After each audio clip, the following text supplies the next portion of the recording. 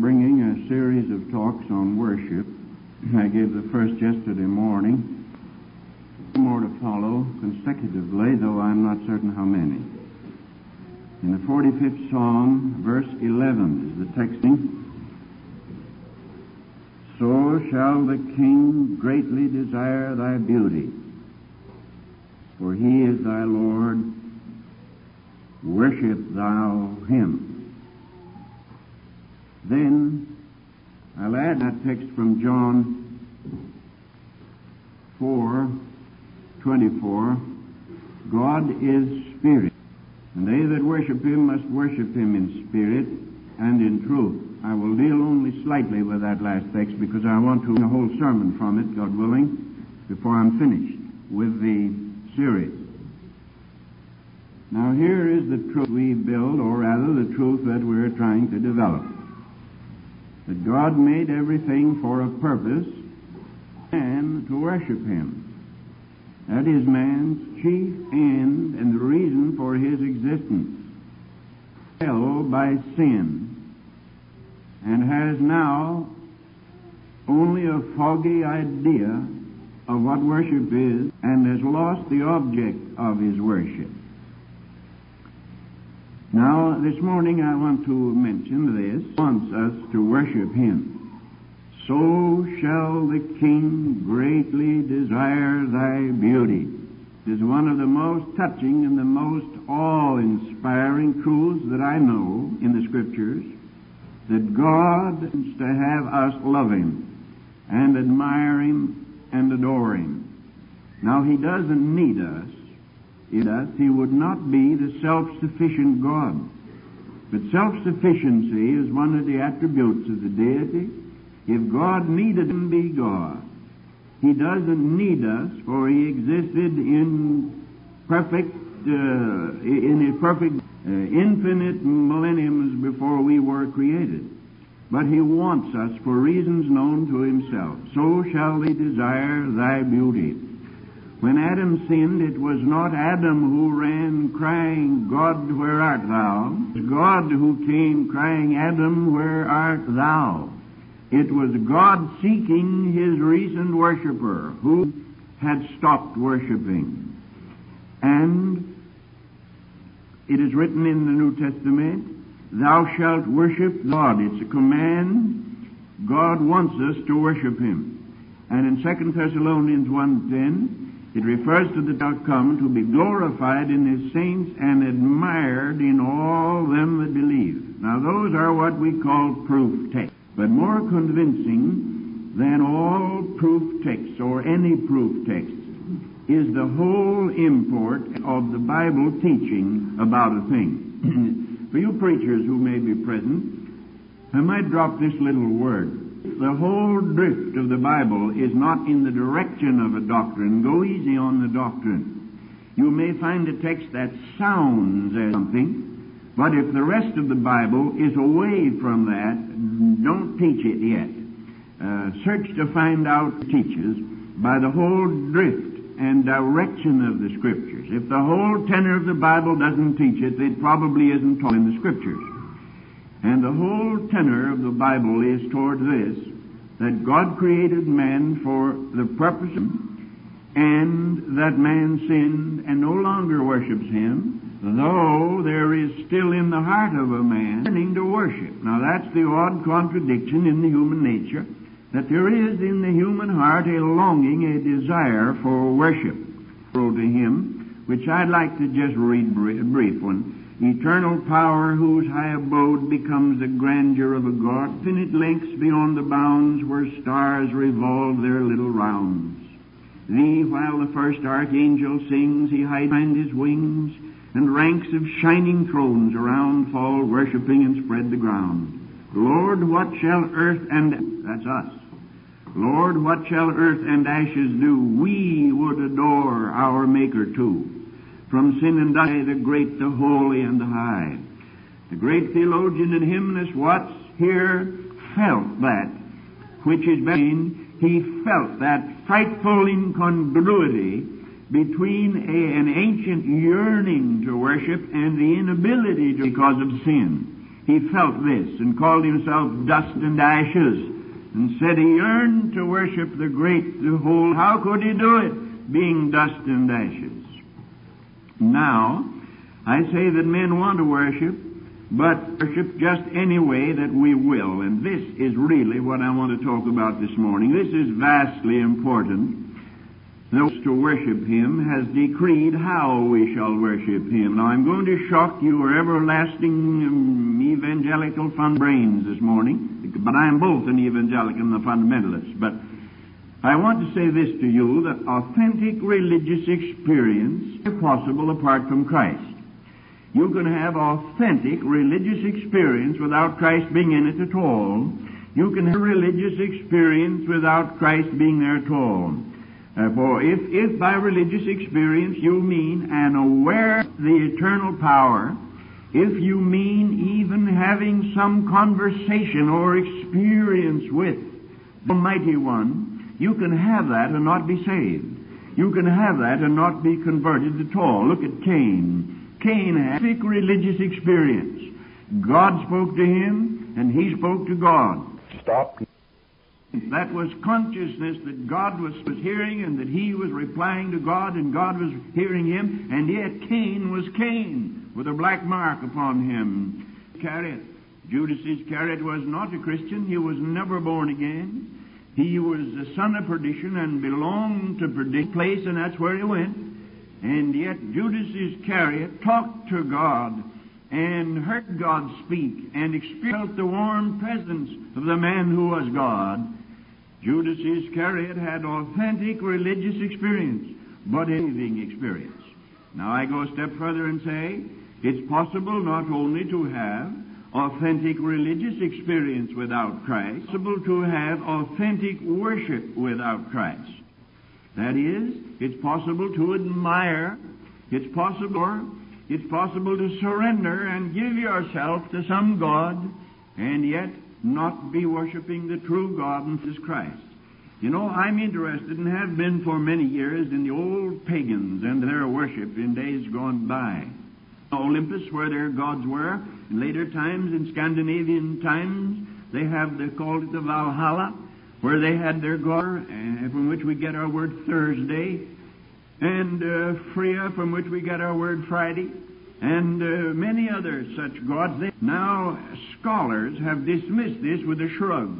And they've said that Thor and Zeus and Jupiter and Venus and June, the gods of the old the Olympia, that they were simply make-believes, that those old fellows were kidding, that they didn't. Carlyle rejects that boldly and says, I do not believe that these men were fooling. I believe that these men were having authentic experiences, that they were meeting someone somewhere, or that they thought was somebody, and were honest men seeking God with all my heart.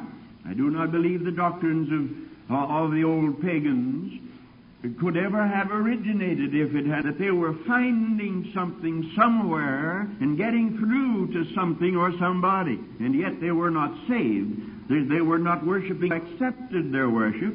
Take those Baalites, for instance, up there who jumped on the altar. They were not Roman or Greek gods. They were the gods of, of uh, the Hebrew days. But they jumped on the altar and they cut themselves and they cried Baal. They were putting on a show? No. They were sincere about that. They never would have accepted Elijah's bold challenge if in their God. They were having re- they were having religious experience. Once I saw in Mexico an old church without any floor in it, an old dirt floor Catholic church with the statue of the Virgin and the saints around there. I saw an old Mexican leathery face come in and set her shopping bag down beside her and then kneel in front of a statue of the Virgin. Extend, put her hands together, and with open eyes gaze adoringly, with worship in her face at the statue of the Virgin Mary. That poor old lady was fooling. She was not. She was sincere, more sincere than a lot of flippant fundamentalists are. Sincere. She was worshiping something. Her heart was going out to something. I say you can have experience without Christ and apart from salvation altogether. And the very reason that idolatry is that it is real.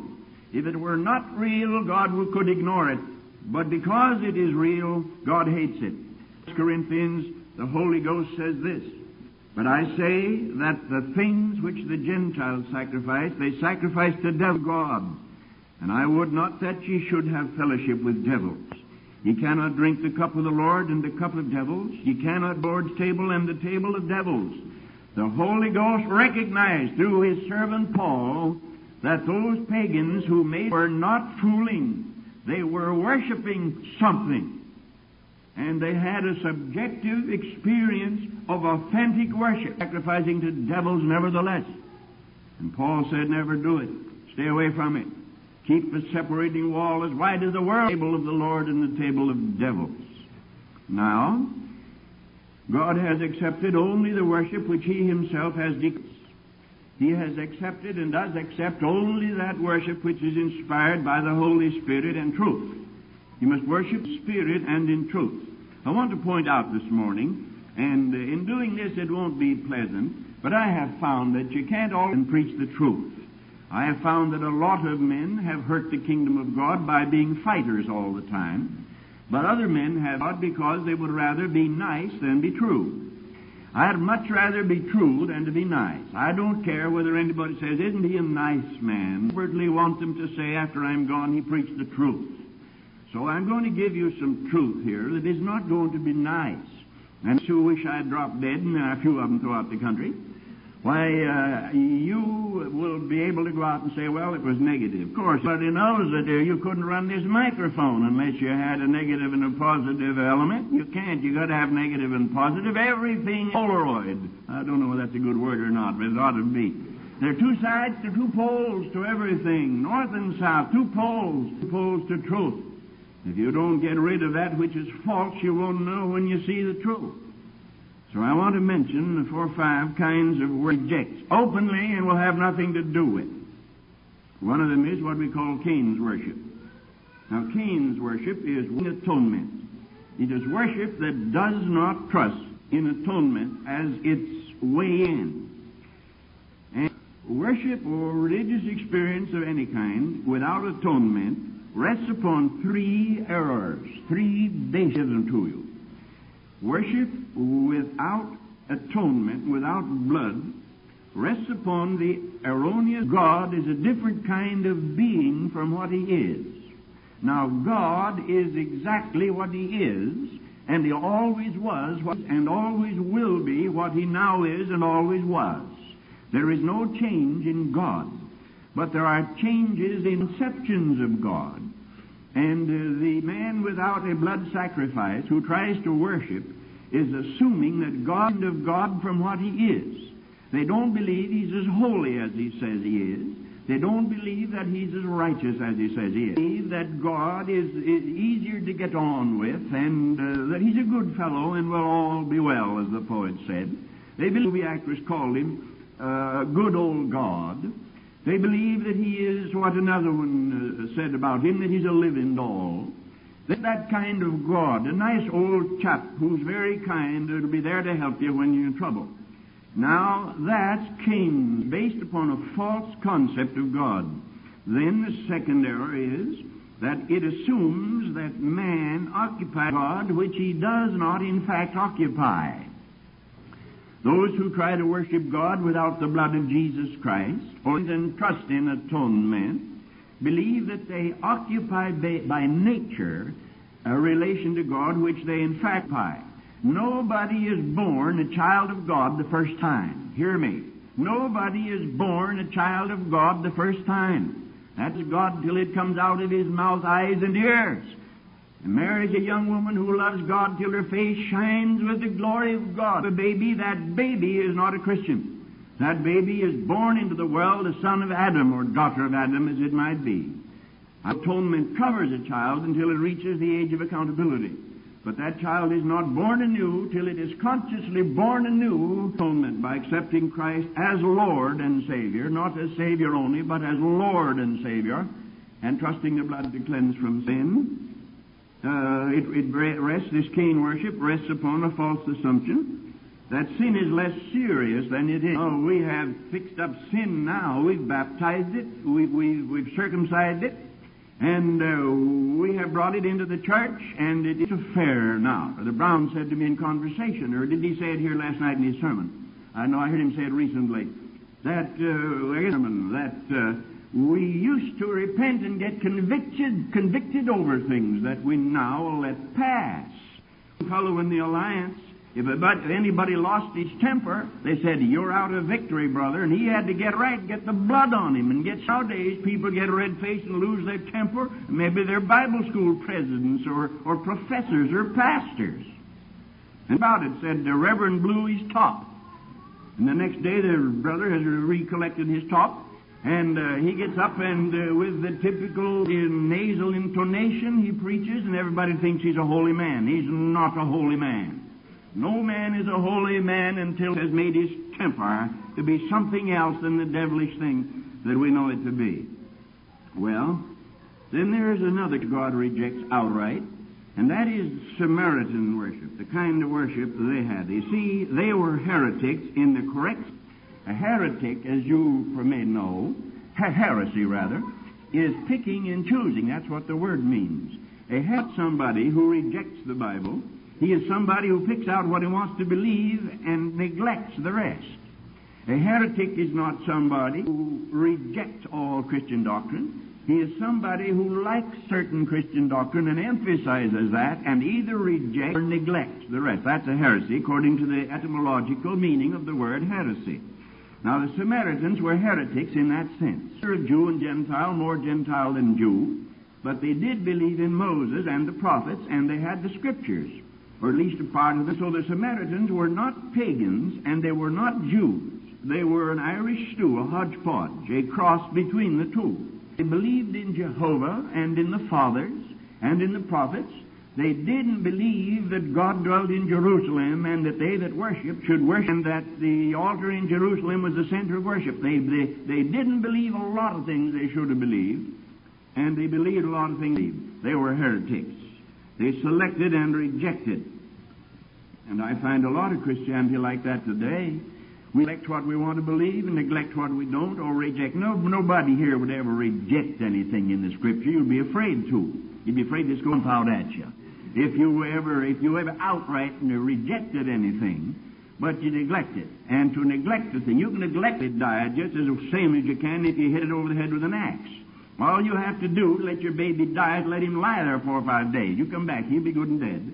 Have to do to kill anything is neglect it. And all we have to do to kill a truth, neglect it. Incidentally, I'd like to say this, the Lord to hear me that will.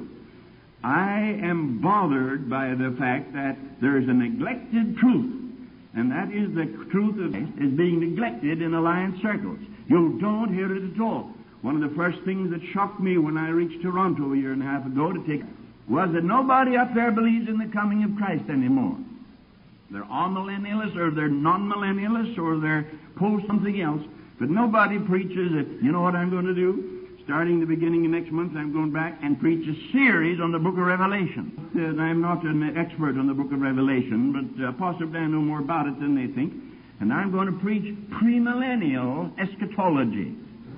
Hey, you know what eschatology is? You heard about the dear old bishop when he was an old man and had been around seminary so long, church change. He got up one day and wiped his eyes and said, Brethren, he said, uh, when I was a young fellow, they talked about heaven. Now they about eschatology. He said, I don't want to die and go to an eschatology. I want to die and go to heaven the way my fathers did. Now, uh, Samaritan worship is the neglect of worship. That is, it's the neglect of certain elements, presence of things that shouldn't be there. Then there's another kind of worship which God rejects. Now, mark you, I want to say boldly, and a lady said about said Jesus Christ was God. She went out and she said the disgusting arrogance of that man, that he would insist that we believe that Jesus, disgustingly arrogant or not, I still believe it, brethren. And I believe that he is God. I'm saying here now to you with what I hope will be gentle dogmatism. I want to be a dogmatist. For the man, dogmatist ought to be selling insurance. He ought not to be in the pulpit If he can't get up and says, This is the way, he has no call from God at all. But I want to be a gentle dogmatist because if you're not gentle, you can hurt unnecessarily. Well, nature worship now. Nature worship, that is not the worship of natural worship. And worship in the presence of nature, that's, it's the poetry of religion. It is a horrible uh, experience that comes from contemplating the sublime. When I was a young fellow, I studied uh, phrenology. Now, phrenology is a thoroughly discredited and repudiated pseudoscience, so don't get. But I, just for the fun of it, I studied phrenology, and I used to read people's heads, you know. Well, phrenology says that uh, that you can tell by the bumps on the outside of the head. The way, I got cured of that was by a statement made by Oliver Wendell Holmes. He, well, try to find out how many five dollars there bills there are in a safe by feeling the outside of the safe as to find out what the man feeling the outside of his head.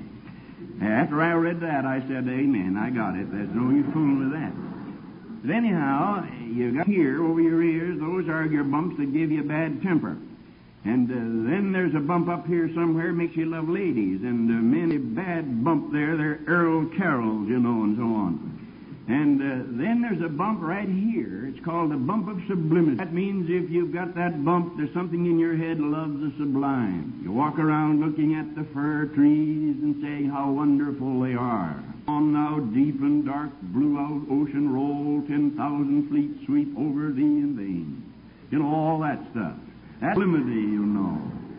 And uh, that's up there. Well, now I suppose that's true. Uh, I don't say, say, you can tell it up there. Naturally live for the sublime. Jacob had a sublimity about him. I'm just now reading again in my own private reading of the scriptures. I've come. Jacob was a scoundrel of a fellow, but he had something in him that yearned after God. He had a bump of sublimity as big as somewhere up there on his head.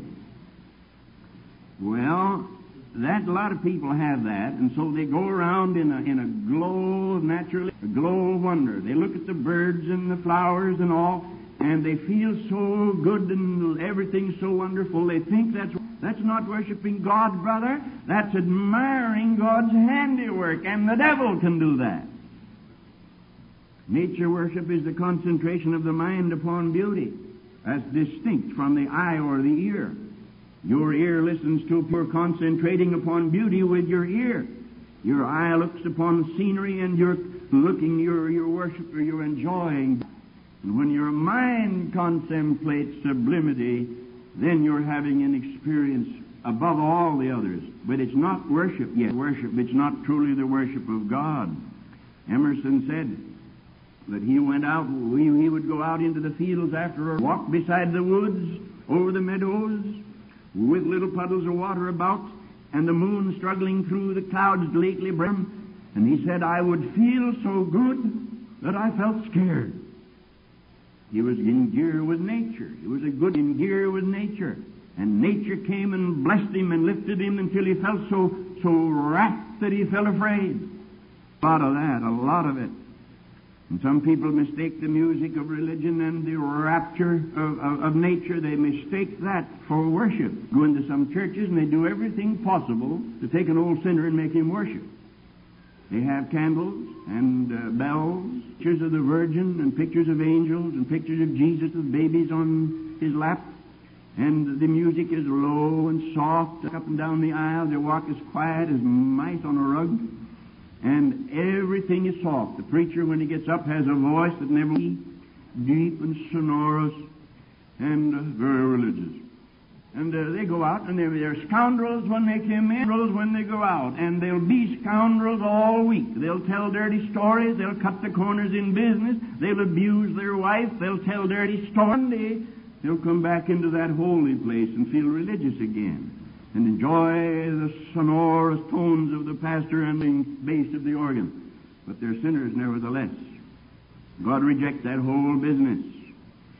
He rejects that whole day. And now God is spirit, and they that worship Him must worship Him in spirit. The Word must clear away all and take worship out of the hands of men and put worship in the hands of God, where it belongs. You know, uh, I was not too many years ago, and I heard one of the celebrated, fun, celebrated modernist preachers uh, of the country preach, and he, this we ask in the Spirit of Jesus. Others pray in the Spirit of good, and some pray to the All Father, and some pray in good. You go into some of our new hymn books, and you'll find whole sections, particularly those hymn books that were edited back there half a generation. Social Gospel was riding in the saddle high. They were talking about brotherhood and service instead of heaven and eschatology. It was service. Well, now that's all right, I suppose, if it's done out of a loving heart filled with the Holy Ghost. Brethren, God is God. There's only one God. And Jesus Christ is His Son, and there's only one Son of God. And Christ said that we came, we come unto Him. We, we're not seeking for God. We found Him. If we come to Christ, found Him. There's a lot of self-pity and a lot of pride in this seeking after God. People say, oh, we're seeking but I'm a seeker for God.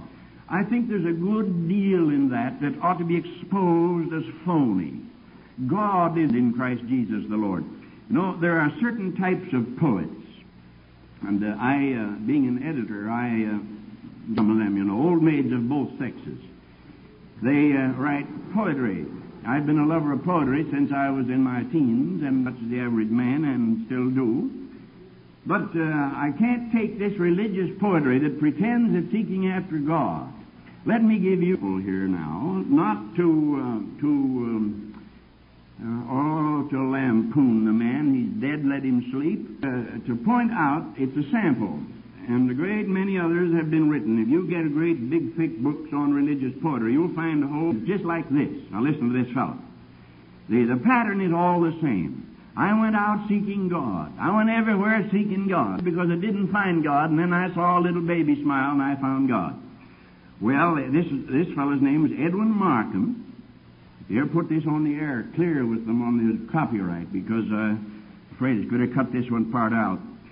He says, I made a pilgrimage. Now that was an American writing that, out there somewhere near Dr. Brown there he lived.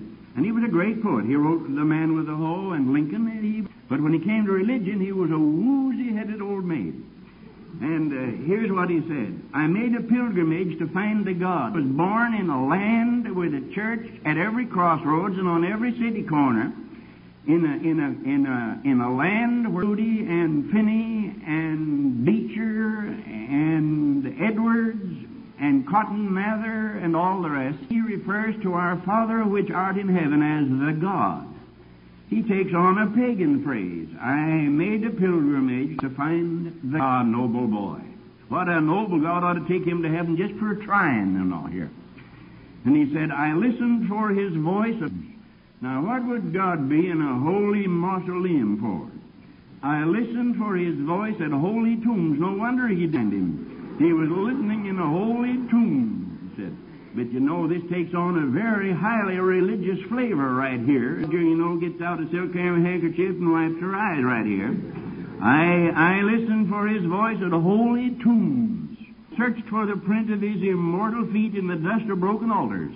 Now, what altars there were, he didn't say because he was an American. And uh, there weren't any pagan altars in America. But somewhere he was around looking among the broken altars for God. What kind of a dusty God was he looking for? And here's the old pattern. Yet I turned back with empty heart. Poor fellow. He couldn't find God in the tomb nor in the dust of a bro- Then suddenly he gets, he gets uh, illuminated, he says. And on the homeward road a great light came across, and I heard God's voice singing in the nestling lark. There you have it. That's the type, you know. That's Christianity without Christian, without blood, without atonement. That's seeking after God naturally. That's, that's Esau. Well, he said uh, he, he heard God's voice in the nestling lark. Now, I don't like to embarrass him, but the fact is, nesting.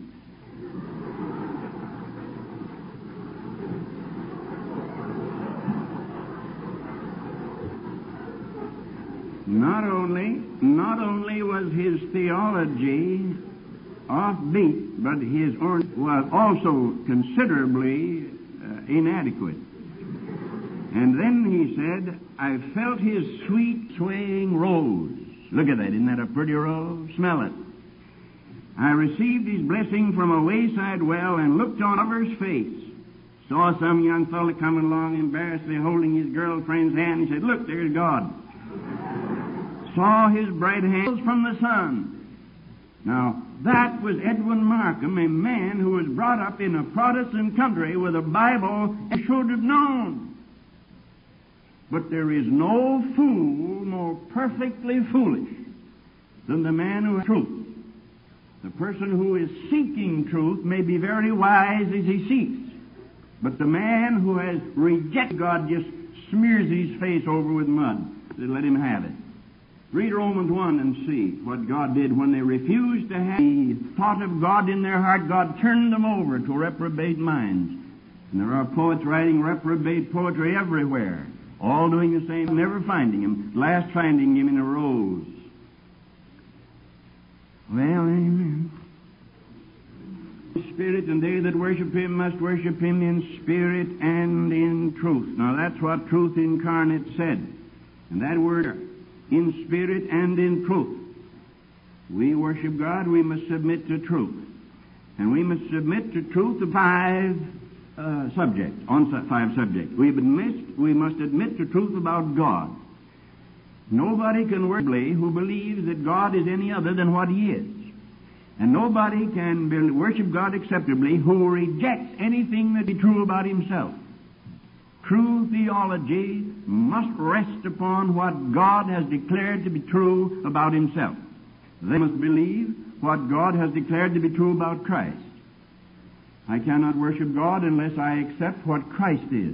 I must what He says He is. Now that doesn't mean that I am instantaneously to believe all about Him because it'll take eternity, all the glories that shine around the person of our Lord. But I am to believe everything that I'm capable of believing to be true about Himself. With all of my heart, I believe in the deity of Jesus Christ the Lord. I believe that the God, man who walked the earth, believe that the man who is at the throne is God. And I believe that the God who is beside the Father there is man. And that if you were to look, you would see a man there with manly lineaments and manly features and a manly shape and a manly form as died, but alive again forevermore. A man at the right hand of God. Dr. Brown, when I first came into the Alliance, the preachers used to talk about the man in the glory.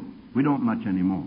We, the, the, the, a man wrote me this. The brother, the brother of Walter Wilson, of Dr. Dyke, wrote me this.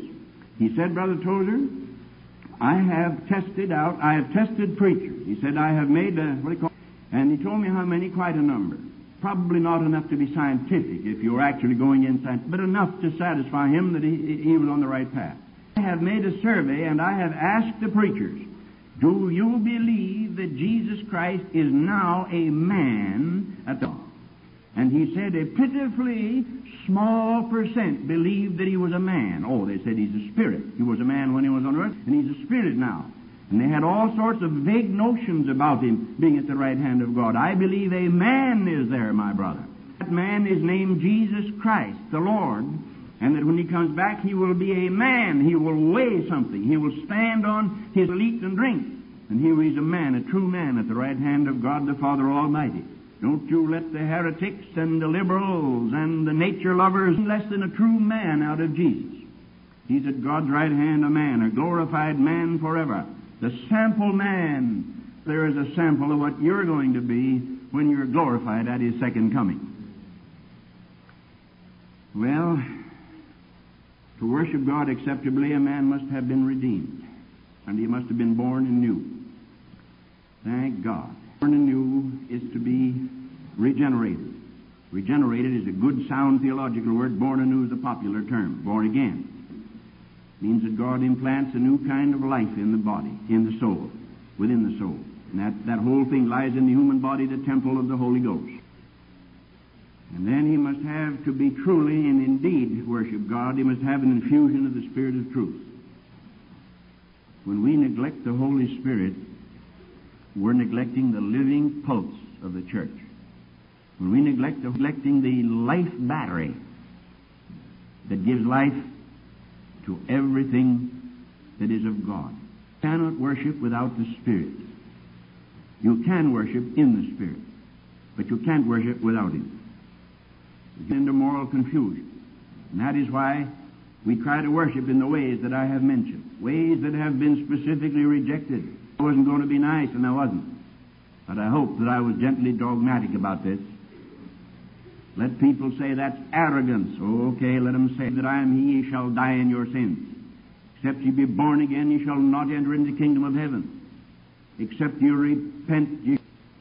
Those are dogmatic statements. They're arrogant statements, if you like, but they're as true as the throne of God. The human heart has fallen into moral confusion, and we're trying to worship God just any old way. We've got every kind of cult imaginable. I thought I got to Canada, I'd get away from all that. I'm mistaken. They've got it up there too. Everywhere. You can't overemphasize the simple, basic, fundamental doctrines of the faith. You can't go too far in continuing to teach them line upon line, precept upon precept, until you think differently in your psychology. psychology. They said about Keats that he was an Englishman, but that he had a Greek mind. He'd studied Greek, he had a Greek mind. They said about Milton, he was an Englishman, but he'd read the scriptures till he had a Hebraic mind. I believe it possible in the midst of the busy United States, the busy Canada. I believe it entirely possible with television, radio, everything around, buzzing round about me, to study the Scriptures so much and to live so in the Spirit that I have a Christian mind. I can have a Christian mind in such a world as this. Dr. Simpson said in one of his great sermons, a lily can grow in the manure pile. A lily, he said, can come up out of the refuse pile, oh, rotten and decayed. But in the middle of it, she can rise and spread her fragrance to the sky and stand in it, but free from it so we can grow in a world that, but grow free from it, and have purity and whiteness and holiness, and have a Christian heart and a Christian mind. In our philosophy, and reject from us all of this woozy Cain religion and Samaritan religion, and live like first century Christians in a wild, violent 20th century. Amen. Father, we pray thy blessing upon what's been being human, Lord. Maybe some things were said that should have been said. Expunge them from our minds. Everything that should impress them upon our minds. May we go out from here humbly glad we're Christians, humbly glad for our fathers who taught us the Bible, for our fathers who translated the Bible for us, for our fathers for us, for our fathers who wrote expositions and commentaries and, and devotional books and feed our hearts on in a day of pollution and pornography. Great God, we thank Thee for all the good men, Thee for every worshiping saint. We thank Thee for Wesley, who wrote these great hymns, and Grant, and Watts, and Montgomery. And thank Thee for that fountain of all hymnology, David, who now didst stand and say, Oh, worship the Lord in the beauty of holiness. God help us today. As we go out from here, we pray we may go all the beauties that are about us, but appreciate Him as Christians, seeing Him not as pagans, but seeing Him as Christians. Birds and trees, worshiping the God who made the birds and trees. Amen.